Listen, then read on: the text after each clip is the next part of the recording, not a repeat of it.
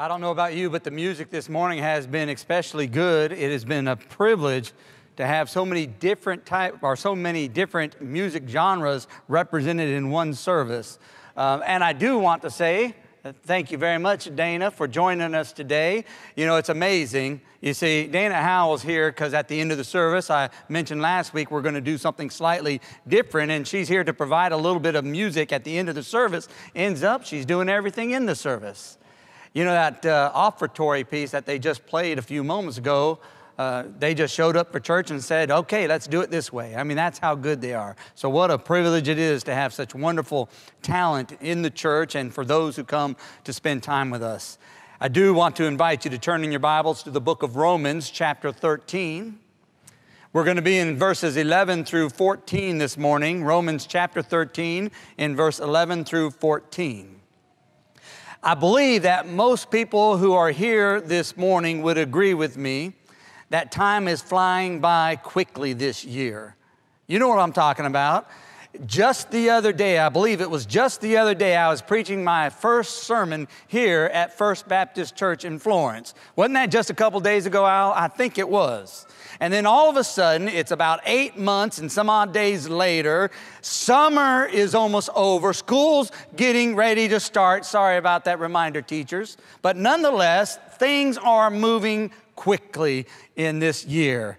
Uh, if you and I were to recall, say, the last eight months of what has taken place within our church, uh, we would have to say sometimes bad things happen and sometimes good things happen. In other words, if we were to remember some of the things that took place, some things would be absurd, some would probably be achievements taking place. Or perhaps we would have fought a few battles, but then we would also had some new beginnings as well. We would have had some moments of casualness, but then we would have had some wonderful moments of commitment. You're starting to get the picture. Things are changing, and there's some good things that take place in our changes, and sometimes there's some bad things that take place. But here's the question I have for all of this morning Are you ready. Well, ready for what? Well, we're getting ready to get to that here in Romans chapter 13, but the question is, are you ready? Um, most often, when we ask, Are you ready? we're talking about those temporal things, the things of this earth. Are you ready to go here? Are you ready to do this? But listen, let me ask you the question Are you ready? Are you ready for the return of our Lord and Savior Jesus Christ? Are you ready? In the passage that we're getting ready to read, the Apostle Paul literally thunders that question Are you ready? And he's speaking specifically about the return of Jesus Christ. And so, with that in mind, Romans chapter 13, beginning in verse 11, reading through verse 14. The Apostle Paul, by the Spirit of God, wrote, And do this knowing the time, that now it is high time to awake out of sleep. For now our salvation is nearer than when we first believed. The night is far spent, the day is at hand. Therefore, let us cast off the works of darkness and let us put on the armor of light. Let us walk properly as in the day, not in revelry and drunkenness, not in lewdness and lust, not in strife and envy but put on the Lord Jesus Christ and make no provision for the flesh to fulfill its lust. Let's go to the Lord in prayer. Heavenly Father, we praise you this morning. We thank you for the reading of your word. We're thankful, Lord God, for the singing of your word as well. We're thankful, Lord, for this prayer, the ones that were lifted previously and the ones to come. But right now, we pray, Lord God, through the preaching and teaching of your word, that your anointing spirit will be upon us all, not just in the delivering of the word, but, Lord God, in the hearing of the word. Change our lives today. We love you, we praise you, and it is in the precious and powerful name of Jesus, we do pray. Amen. There are two men who were good friends years ago, and finally they got together after many years of being apart. A lot had changed in their lives. Just like all of us, some things were good, some changes were not so good or bad. And so, as they started to talk and reminisce and uh, find out what's been going on in their lives, the conversation went something like this the one man asked how things are going, and the second man said, Well, I got married. Well, that's a good news. but she's ugly. Well, that's bad news. But she is very rich. Well, that's good news, but she's a little bit stingy. Well, that's kind of bad news. But she did buy me a house. Well, that's good news, but the house built, burnt down. Well, that's bad news. But she was in it. Well, you know the rest of that story, don't you? I mentioned sometimes things are bad, sometimes things are good. And we see that in the return of Christ, every one of us would probably say, well, that's a good thing. But think about those who are not ready. Think about those who are lost in their sins, those who have not received Jesus as their Lord and Savior. You might be able to say, I am ready. But what about your one? We've been looking at the campaign, Who's Your One? Who's that one person God would place upon your heart and in your mind that needs to know Jesus? Who's that one? Are they ready? Paul warns us it is high time. It's a prophetic passage pointing to the return of Jesus Christ. And in this passage, the Apostle Paul gives to us five admonitions, five warnings, you might say, what we as Christians must do to be ready and how does that connect with Who's Your One? Well, when we're ready, then we're also going to be better prepared to share with others so that they too can be ready. Are you ready? Here's the first admonition given by the Apostle Paul. First, he would tell you, wake up. He says, and do this knowing the time that now it is high time to wake out of sleep, for now our salvation is nearer than when we first believed. Literally, he thunders to us, wake up. The assumption given here is that as followers of Christ, we need to know the time. And I'm not talking about you need to have a look at your watch. Don't start looking. I just started preaching. It's not talking about your watch or pulling out your phone and seeing what time it is. We're talking about knowing the times, understanding our culture, understanding what's taking place in the world today. We're to know our times. And if we are to know our times, we know it's getting closer. Jesus is coming. Know your time. Paul says, wake up. For now our salvation is nearer than we first believed. What an obvious statement. You understand what he means by that. He's not saying that uh, we are not saved uh, uh, the moment we receive Jesus as the Lord and Savior, but that day by day, as you and I live this life on this celestial ball called earth, that you and I are getting closer and closer to the day of perfection, closer and closer to the day of completion, to that time when we will not only be sanctified, we'll be glorified. Wake up Paul says Jesus is coming. Now, with that in mind, this admonition also comes with a couple implications. In other words, Paul is implying two things on this admonition wake up. First of all, wake up implies that we have fallen asleep. On December 3rd, 2013, an engineer operating a commuter train New York Hudson line fell asleep while he was supposed to be driving the train. He ended up taking a 30 mile an hour curve at 82 miles an hour. And in doing so, he derailed the train, killed four people, and injured numerous others. He fell asleep at the, uh, at the, at the steering wheel, so to speak. He should have been awake. The tragedy, as much as it was, could have been avoided. In fact, the experts say, first of all, if he was, wasn't asleep, obviously the accident wouldn't have happened. But they said that even if he would have woke up just moments prior to the curve, he could have avoided that tragic accident. In other words, he needed to wake up. Paul tells us, wake up. The reason why he tells us to wake up is because we have fallen asleep. Uh, you know, I'm sure we can come up with a long list of culprits that probably lulled us into this slumber. But let me share with you three. Number one, I believe it's because of our confusion. In other words, in this world today, there is every kind of uh, religiosity as you can imagine, and it's out there for everyone to see. You understand? If you put it on the internet, it's around the world in just a matter of moments. There is confusion in this world, and I believe because of this confusion, many people are believing false beliefs, living false lies, and in that we have been confused in our faith. But that's not the only thing that has rocked us to uh, sleep, not only confusion, but I'd have to say also complacency. Many years ago, as you know, I've served in the military for 21 years. One of my later assignments was to train the Arkansas National Guard as well as the Oklahoma National Guard, specifically for the purpose of them going to Yugoslavia to take over the military mission there. Uh, and so, in that, I had to often travel from Arkansas back to Fort Benning, Georgia, where a new unit was getting ready to deploy, and I would train them in something called TSIRT. Uh, theater uh, specific individual readiness training. In other words, I would train them on what to expect when they got into Yugoslavia.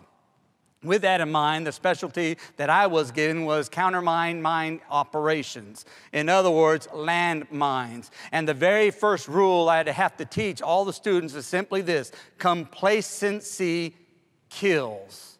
And here's what the, the example would be you'd go into a minefield and you'd say, okay, that's not really a mine. All right, toss it aside. You'd go into another area and it looks like there's a, an IED, and you'd go and you'd start inspecting it. Next thing you know, you'd find out, well, it's not really a landmine. And you go to another one, the same thing happens, and then you get complacent, and next thing you know, you don't follow the proper procedures, and you go up to the landmine and you do something you're not supposed to do, and complacency kills. And the same is true with our Christian faith. We are lulled to sleep because we have become complacent to the world. We are tired of waiting for Jesus.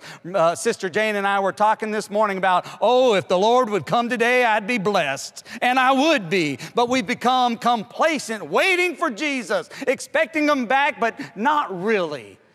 And so when we become complacent in that area, we, we become complacent in the reading of God's Word. We become complacent in our prayers to the Lord. We com, uh, become complacent to our attendance of, of corporate worship. We become complacent, and complacency kills. And I believe it helps to put us in this slumber that we're often in. Confusion, complacency. And here's a third one. How about, uh, simply put, compromise? We have compromised our faith when we take man's word over God's word. That's a compromise. We compromise our faith when we say things like, well, it probably really doesn't matter at all. And that compromise has put us to sleep. In fact, I believe we're stuck in the Garden of Eden, and, and the question that Satan has taught us is upon our lips Did God really say?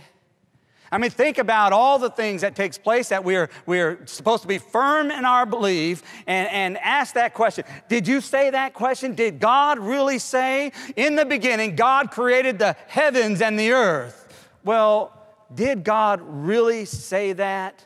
I mean, after all, there's so much scientific evidence for evolution. Did God really say? Uh, what about the sanctity of human life? As we fight against such atrocities as abortion and euthanasia. Did God really say we're created in His image? Did He really say that? We're compromising in our beliefs. What about uh, as God in the very beginning meant them to be male and female, and that for the, the man was to leave his mother and his father and cling unto his wife? In other words, when we think about the, the um, atrocity and the, the horridness of what we call homosexual marriages, did God really say we are compromising in our beliefs? And I believe it's lulled us into sleep. We have fallen asleep. Paul says, Wake up. Uh, not only does it uh, imply that we have fallen asleep, it implies that we have need of assistance. Uh, in my household, I am considered the Crawford alarm clock. In other words, if you want to get up early in the morning, just wait, I'll get you up. Because I'm always up early in the morning. I'm the alarm clock for the Crawford household. Paul, writing to the Roman church and even to us today, he is the alarm clock because evidently we cannot wake up on ourselves. And the alarm clock that Paul is using is the precious Word of God. You see, this is what needs to be preached from the pulpit. I, I cannot give you anything else. I cannot give you something that is not nutritious. I cannot give you a five hour uh, pick me up drink drink or whatever those are called. I can't give you an energy drink. All I got is the banquet of God's bountiful uh, word to, that you and I can feast upon. In other words, we need assistance. That assistance comes from the Word of God. And when the pulpits of America stop preaching the Word of God, we will fall into slumber, we will sleep, and will not awake. Are you ready? Paul tells us to wake up. But he doesn't stop there. Not only are we to wake up, he tells us we're to clean up as well. I don't know about you, but I do hope this occurred on some sense or some level. When I woke up this morning, I brushed my teeth. How about you? I got cleaned up. In other words, there's a number of other things that I did, uh, rituals, you might say, each morning to ensure that I am cleaned up. Paul writes it this way The night is far spent, the day is at hand, therefore let us cast off the works of darkness. And literally, he says, Wake up then clean up. Again, I believe there are two implications here. First of all, when he tells us to clean up, it implies the condition of sin. What put us into this lull is sin in our hearts. What caused us to go to sleep is sin. Sin is in us. Uh, all of sin and fall short of the glory of God, the Word of God teaches us. In other words, sin is in us, and that is our condition. We need to clean up because of the condition of sin in our hearts and in our lives. But listen, when there's the condition of sin, there must be something else. And this is, uh, I guess you can say, this is an implication on the implication. This is implied or an imperative on what it was implied. It is implied the condition of sin, but to clean up, we must have the confession of sin. We must confess that which is wrong. We must confess that it's in our hearts and in our minds. There must be a confession of sin. John reminds us of that on 1 John chapter 1 verse 7 and verse 9. Verse 7 it says this, "But if we walk in the light as he is in uh, the light, we have fellowship with one and another. And the blood of Jesus Christ, his son, cleanses us from all sin." Verse 9 of, of 1 John chapter 1. If we confess our sins, He is faithful and just to forgive us of our sins and to cleanse us from all unrighteousness. In other words, we're to wake up from our slumber. And once we are awake, we're told we're to clean up, get rid of the sin that's in our hearts and in our lives. And I don't know but one uh, proper detergent that can cleanse sin. You know exactly who it is. What can wash away my sin? Nothing but the blood of Jesus. Uh, what can make me whole again? Nothing but the blood of Jesus. Wake up and clean up. Here's a third admonition found in this passage. Paul would also tell us to dress up. Most people, when they get up in the morning, have that ritual I was talking about earlier. We wake up, we get cleaned up, and, and most people like to go ahead and get dressed before they leave the door. Now, I understand in today's day and age, it's appropriate for some to wear PJs to work, to Walmart, and everywhere else. But I believe in actually getting dressed before I leave the house. And Paul tells us not only do we need to wake up, we need to clean up, but we also need to dress up. He says specifically, and let us put on the armor of light. Now, with that in mind, two more things are implied. First of all, what is implied here is an imminent attack. Uh, why else would you put on armor other than the fact that we are in the midst of attack? If they are not in the midst, it is coming. It is right behind. It's been said of most people, if not all people, that you're either heading into the storm, you're in the middle of the storm, or you're just coming out of a storm. The one thing that is certain of every single person in this room is there are storms ahead. So get ready for them. There is an imminent attack. He tells us to put on the armor of light. Uh, I believe it's synonymous as well with the armor of Jesus Christ, which we'll read about in a few moments. But it's also synonymous with the armor of God that Paul talks about in the book of Ephesians. In fact, let me uh, turn there, if you will. Ephesians chapter 6. Beginning in verse 10, you remember these words of what we're to put on each and every day by the power of the Spirit and by prayer. Finally, my brethren, be strong in the Lord and in the power of his might.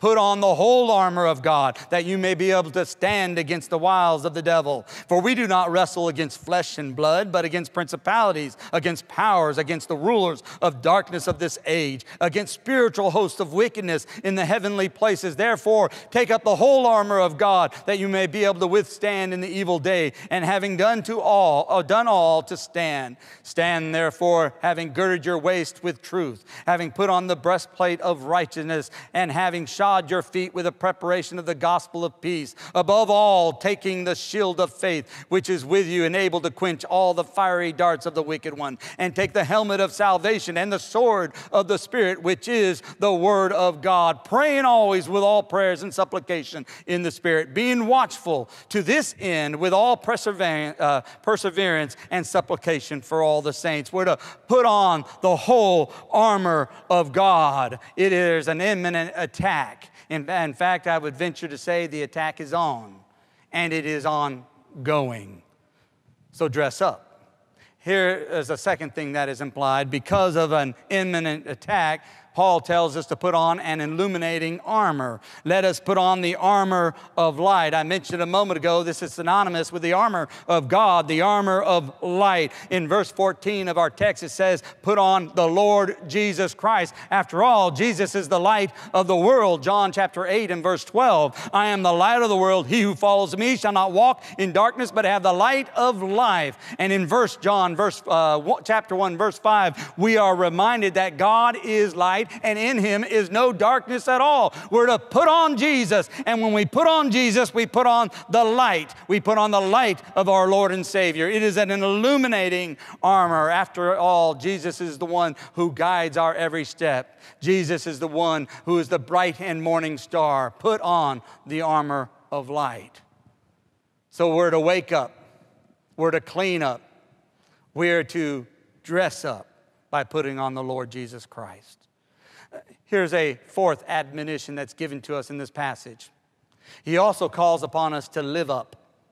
In other words, verse 13, let us walk properly as in the day, not in revelry and drunkenness, not in lewdness and lust, not in strife and envy. To wake up points towards the need for our awareness. To clean up points towards the need for our, our, admission to sin. To dress up points towards the need for appropriate attire. But to live up points towards the need to possess the right attitude, which will always lead to the right actions. We are to live up. And again, a couple implications, a couple things that this implies. Number one, uh, the admonition to live up means that we're going to live, uh, live up through our proper walk with the Lord, our proper walk with the Lord. Let us walk properly in the day. You know, it means just that.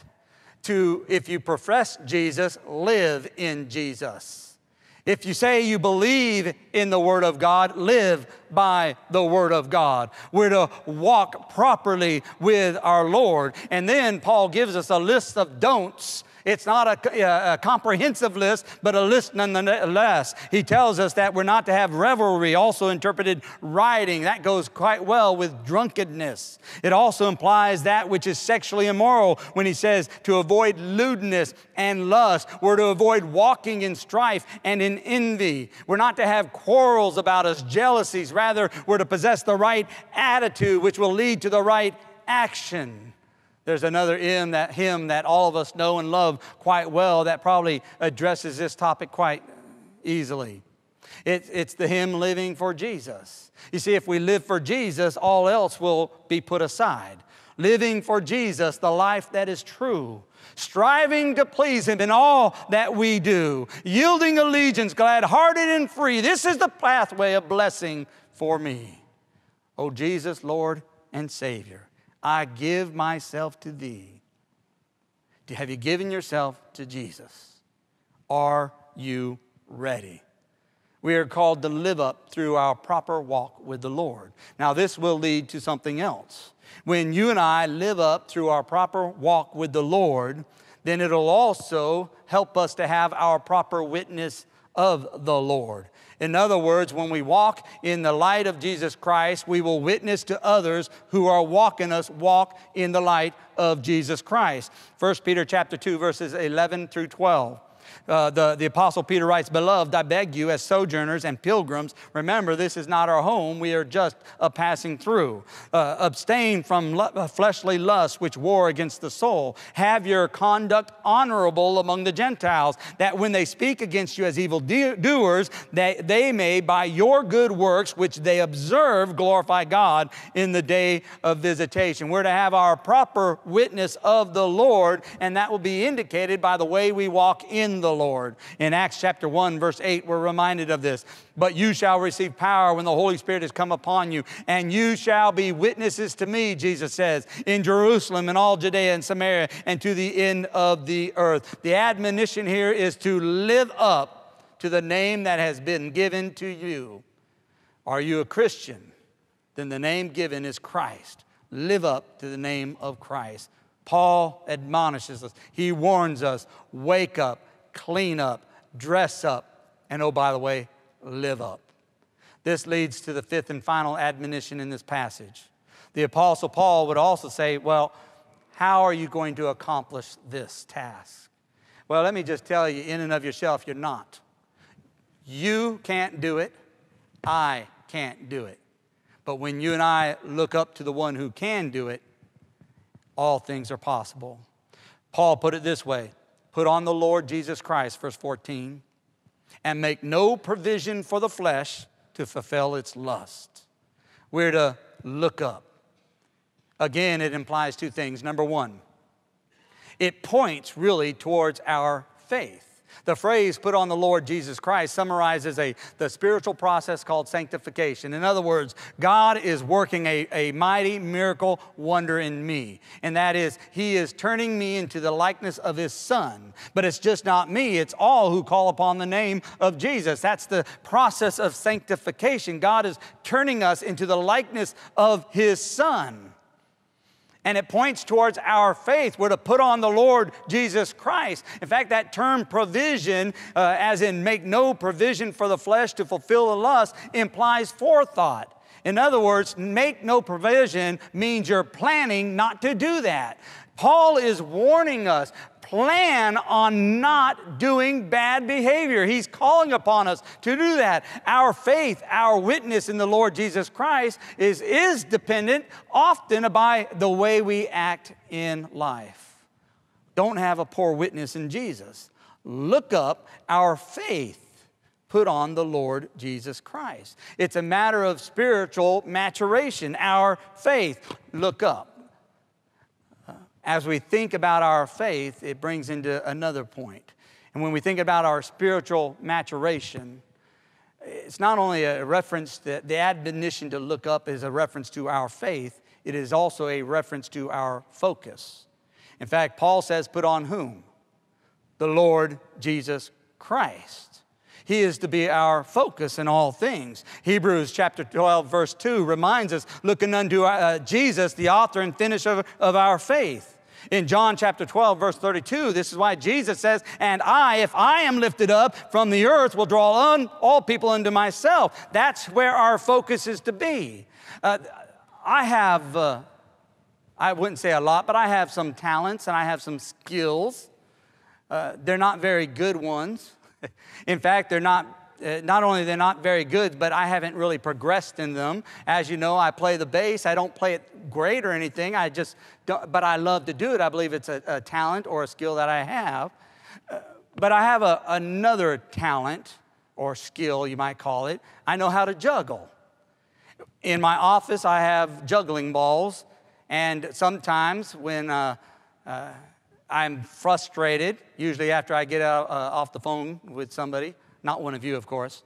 Uh, but you know, I, if I'm frustrated, if I'm in between passages, if I just want to take a break, I want my mind be, to be at ease, I will just sit back, grab my juggling balls, and start juggling. I just enjoy juggling. Now, with that in mind, juggling has taught me a few things. One of the things it's taught me is focus. In other words, you have to figure out what you want to focus on. Uh, I've got two eyeballs. I, most of you probably have two eyeballs as well. And if you're juggling three balls with two eyeballs, something's wrong there, isn't it? In other words, you've got two eyeballs and three balls in the air, and eventually, if you're focusing with your two eyeballs and that's what your focus is, guess what? You're going to drop the ball. Uh, but the same can be said about our hands. I've got three balls and only two hands. If my focus while juggling is upon my hands, then eventually I'm going to drop one of those balls that are up in the air. I will not be prepared. So, what do you focus on when juggling? Well, the easy answer is simply this you focus on the highest object. That's how you, you, part of the juggling thing. You focus on the higher object, everything else falls into your peripheral vision. And so as the balls go up in the air, my, my eyes will stay with the highest point. Now, here is my point. If you focus on your power, your hands in this life that we live, you're going to drop the ball. If you use your eyes only and all you're focusing on is your circumstances around you, guess what? You're going to drop the ball. But if you focus on the highest point, if you focus on our Lord Jesus Christ, if you keep Him in your focus, everything else comes into the peripheral vision and everything is much better because your focus is on Jesus Christ. That's what it means put on the Lord Jesus Christ. Our focus is to be on Christ and Christ alone. The centricity of Christ is the focus of the church. The centricity of Christ is the focus of every Bible study we must do. The centricity of Christ is the focus of our marriages. The centri- uh, centricity of Christ must be the focus of everything in our Christian walk. So, the final admit, uh, admonition given by Paul is to look up. It points to our faith. Our faith is meaningless if our focus is incorrect. So focus on Christ, and our faith will then be in Christ. I want to conclude the message this morning by returning back to the beginning, and that is by asking the simple question Are you ready? But let me add to that the one who's on your life, uh, on your heart, the one that God has planted that seed in your mind in your heart, are they ready? But they're not my responsibility. I didn't ask if they're your responsibility. Are they ready? Then don't you want to do everything you can to help them to get ready for the return of the Lord? Let's go to the Lord in prayer. Heavenly Father, we do praise you this morning. We thank you for the truth of your word. We're thankful, Lord God, for the clearness of the call that you've given to the Apostle Paul and then given to us. Lord God, we do need to wake up. We need to witness what's taking place around you, us. We need to be uh, men and women on the watchtower looking out. And Lord, there is a dire need, not just in the world, but in this church in our churches and in our lives to be cleaned up as well. Lord, may we see sin for what it is and confess it and be cleansed by you. Lord, I, I pray that we will each be putting on the armor of light, the armor of God, that will dress, be dressed properly each day as we go into this world in this spiritual battle. I pray, Lord God, that we'll live a life that is honoring to you in that name that you've given to us, the name of Christ. And I pray, Lord God, that in all matters we'll look to you in our faith and in our focus. We love you, we praise you. And it is in the precious and in the powerful name of Jesus we pray. Amen.